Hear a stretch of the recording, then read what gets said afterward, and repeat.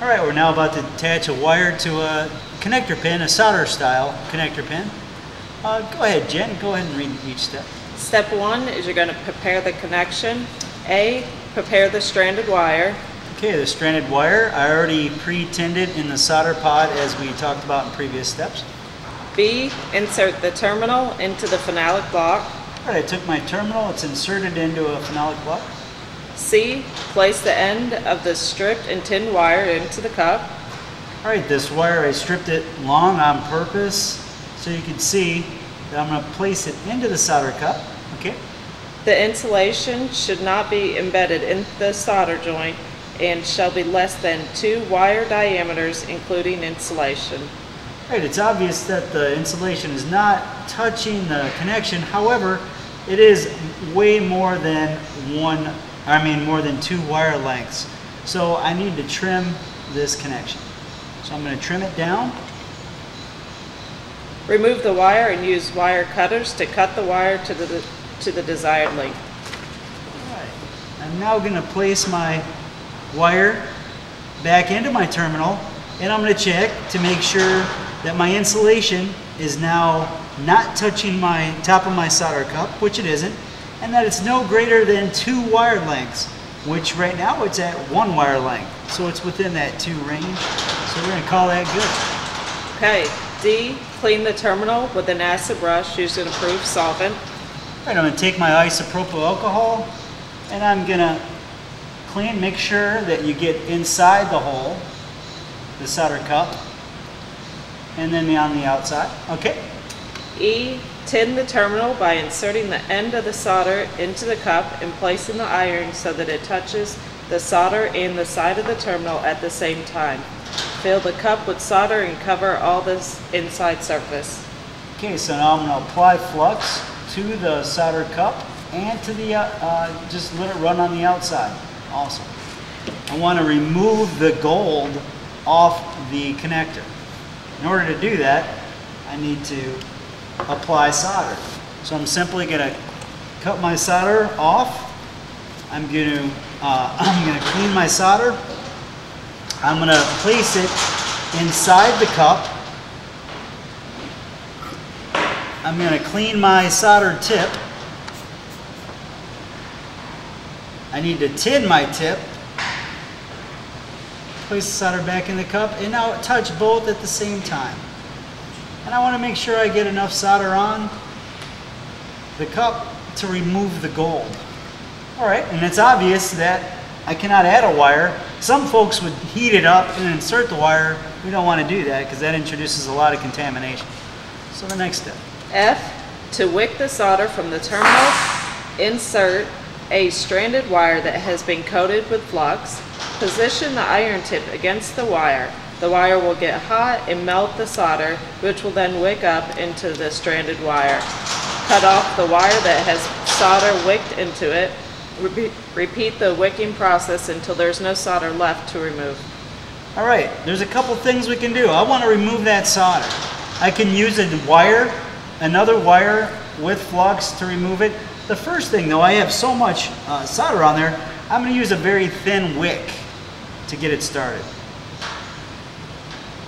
Use a thin wick. I placed flux on the wick. I'm going to clean my soldering iron. And I'm going to soak up as much of this solder as possible. All right, I'm gonna move it down. I'm gonna make sure the outside doesn't have any globs of solder. So I can even lay it and kind of wrap it around. Soak it up. There we go. Looks pretty clean. However, there's solder in the bottom of that cup. Since there's solder in the bottom of that cup, I'm gonna do exactly what they said.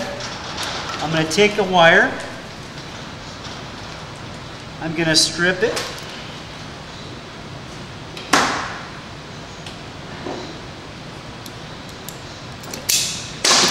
I'm gonna clean it. I'm gonna flux it. And I'm gonna place it inside the cup. And I'm gonna wick out any excess solder. In order to do that though, I actually have to add a little solder to form a bridge and to soak it into the wire. I get the bridge going and I simply take my iron up the outside of the wire so the solder follows it up the wire and soaks it up and it leaves the solder cup clean. I'm going to tin my wire, place it back in the holder. I'm going to cut that piece off because that's junk. And I'm going to go to the next step. clean the terminal with the acid brush. I'm going to clean it with an acid brush. First, I'm going to place the chem wipe over the top so I don't make a giant mess to soak up any excess flux.